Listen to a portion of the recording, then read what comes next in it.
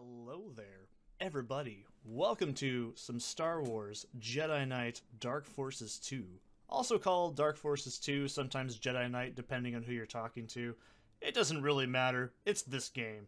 So, yeah. I have played through this on my channel before. Um, I made it pretty far into the game, but I had um, some horses get out at my old house I used to live at, so I had to go take care of that. That was not fun. I also just really wasn't feeling it, you know? So, either way, this is going to be a revamp of that series I worked on initially. So, yeah. I really do like this game a lot. It is not my favorite FPS game, and it's not even my favorite Star Wars game. That belongs to Bounty Hunter, like, hands down. That's the best. Um, but this was the first PC game I ever played and the first FPS game I ever played, so I have a lot of nostalgia for it. Um, but I'm not going to say it's a great game. It's fun, but it's incredibly frustrating and it's very jank. But, you know, looking back at it, it was a great title. And, um, yeah. So I have a couple of things I got to get out of the way. This game is a pain to record. It's also incredibly hard to get running on modern systems. I actually have a Voodoo glide wrapper um, tool to basically tell it, hey, this is what it should be because it doesn't like my graphics card that I put in because it's old and finicky and weird. So yeah, I just put together this new PC, so I was like, let's let's see how this works. Um, and this was one of the first games I test on it every time. So, anyways, I'm also not going to be showing the cutscenes because they contain copyrighted material, and as proxy, I'm also not going to be putting in the music. I mean, it's the same five or six John Williams like loops you've heard a thousand times in every Star Wars game and every Star Wars media ever. You're not really missing much. Personally, I prefer the game without the soundtrack, anyways, because it kind of gives it more gritty, iffy feeling, which I always think is really cool. So I'm not really worried about that. I mean, like I said, you, have heard these songs a thousand times. It's not anything new. You're not going to lose sleep over not hearing the Imperial March one more time. So yeah. Also, if you want to watch the cutscenes, I'm I'd recommend watching them on your own time. They're actually quite enjoyable. Um, they're cheesy, but they were actually pretty cool for the time. I mean, it's not bad. It just looks like a really bad Star Wars like production in a good way. Um, so yeah. oh boy. this game is just impossible to get running on modern operating systems. I'm amazed I got as much as I got into it um, so far just to record it because I played through the game twice recently. Um, I also did it with just blasters a little bit, but uh, yeah, I didn't have to do all this stuff for that. I did it for just recording because it's a giant pain. So I hope you guys are gonna enjoy this. So this all the menus in the game are separate from the actual like hooking things for Bandicam. So there might be some weird cuts here and there, but when it happens, you'll probably know. Um, it's mainly just in the menus. So, either way, I hope you guys are going to enjoy this one. So let's go ahead and get started. Alright. And we're in the game. Look at this. Look at this game. Look at this man. What's happening? Yeah, what's happening, man? I know, right? So, this game is pretty good. That's all I can say. It's not my favorite FPS game of all time, but like I said, it's very nostalgic to me. So, and man, when I saw this, it scared the hell out of me. Oh man, look at this thing. It's a Grave Tuscan, I know what it's called. Um, but look at those polygons, man. Look at that. You can tell that's a hand. It's got, like, definition and shit. And you can shoot the sign and it breaks, and oh, it's so cool. Um, yeah. So let's go ahead and get started. Um, essentially, this game is just not really an FPS. It's a little bit of a hybrid. Yeah, yeah, yeah, I always cause trouble. So that because this game's also incredibly finicky with its audio, I have to like constantly check it on my end to make sure it's not overpowering me. So, yeah. The game does start out just like Dark Forces 1, which I haven't finished. I've played through it a little bit, but I always just sort of stop. I don't know why.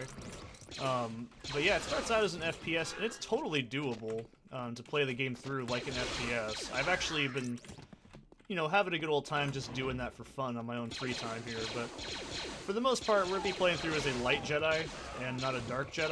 I Notice I said dark Jedi because I know there's a difference. And uh, just to get it out of the way, um, I personally don't like Star Wars as much as I used to. Um, I have not seen the new films because I think they're just a little corporatey and hackney, and I don't I don't know. I, I really don't want to like them. Um, and it's not because I'm a dick. It's just, I don't really like them. They just went a huge step backwards. Oh god. Um, that was a mistake.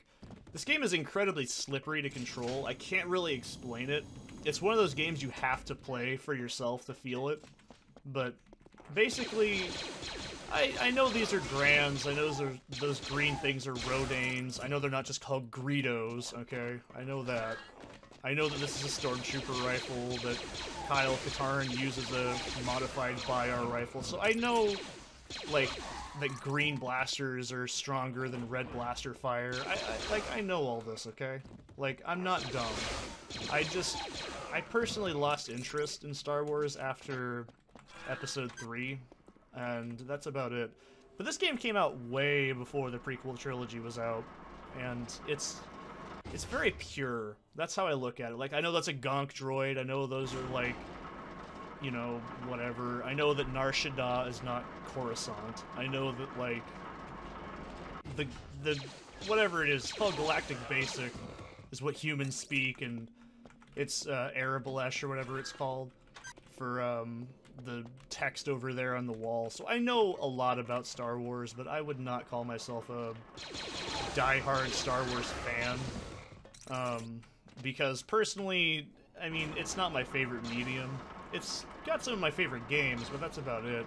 I really don't have a lot of nostalgia for, um, like, anything else except this game and Bounty Hunter, if that makes you, uh... Actually, I did get Star Wars Destruction when I was a kid, which, or sorry, Demolition, which, oh man, I wish I still had that.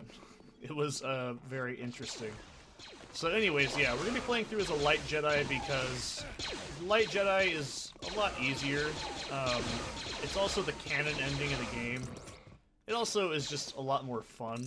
I mean, when you go through as a Dark Jedi, um, this is not like later titles in the series, by the way. Later titles let you select um, dark and light powers. Like, you can have Force Lightning in Jedi Academy and Force Healing. This game doesn't let you do that. Um, if you try that halfway through the game, it goes, uh, you've been seduced by the dark side. You got seduced by them big old titties, and then the game says no. And you also will not be able to get the, like, dark side, uh, I think it's called, like, malevolent gaze or something like that.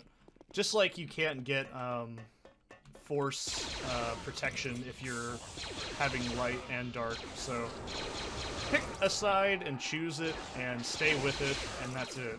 So, for the sake of my own sanity, I'm just going to be playing through as a light Jedi because it's easier.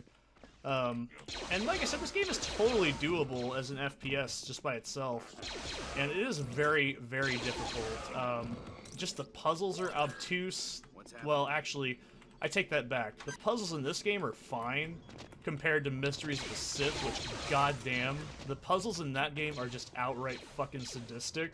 so, um, well, they're not really sadistic, but they're just, oh my god. There were, it's, it's a different time of gaming. That's all I gotta say. So, I will explain why I'm not getting some secrets right now. It's because right now, getting secrets is negligible because I have no force abilities yet. Um, if I had force abilities, I'd be looking a little bit harder for secrets. I do know where a lot of them are, um, hence why I'm going over here first, so... The hell? Um, enemies do respawn in some areas, particularly only in the first couple levels, which is odd. Um, so, yeah. Basically, I mean, like, it's not really worth your time to go for secrets right now. Um, but later on it is, because they give you more force stars, which let you upgrade your force abilities earlier. But it's really not a huge deal. You're not gonna lose the game if you don't. So, why are they just jiggling around? Anyways, I'll see you guys in the next one.